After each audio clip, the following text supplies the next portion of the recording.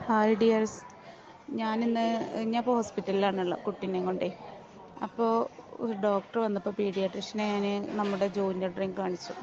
കുട്ടികൾക്ക് കൊടുക്കാൻ പറ്റുമോ ചോദിച്ചിട്ട് അതിന്റെ ഇനിയിപ്പോൾ അതിന് കുറേ ആളുകൾ പറയുന്നുണ്ട് ഇത് ഡോക്ടർമാരൊന്നും സജസ്റ്റ് ചെയ്യാതെ കൊടുക്കുമ്പോൾ ഭയങ്കര പ്രശ്നമാണല്ലോ അങ്ങനെ കൊടുക്കാൻ പറ്റൂലല്ലോ കുട്ടികളല്ലേ എന്നൊക്കെ പറഞ്ഞു. അപ്പോഴാണ് ഞാൻ ആ ചോദ്യം കുറേ കേട്ടപ്പോഴാണ് ഞാൻ അത് ഡോക്ടറെ കാണിച്ചത്.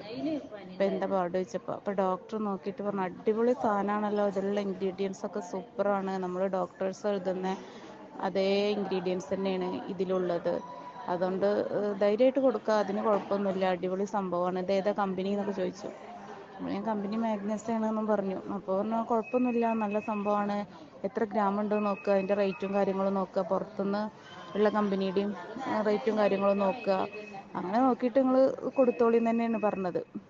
അടിപൊളി ആണ്. കുഴപ്പമില്ല എന്ന് തന്നെയാണ് ഡോക്ടർ പറഞ്ഞത്. അപ്പം നല്ലൊരു റിവ്യൂസ് കിട്ടിയോണ്ട് ഒരു സമാധാനം. കാരണം നമ്മളെ കുട്ടികൾക്കൊക്കെ കൊടുക്കുന്നത് തന്നെയല്ലേ.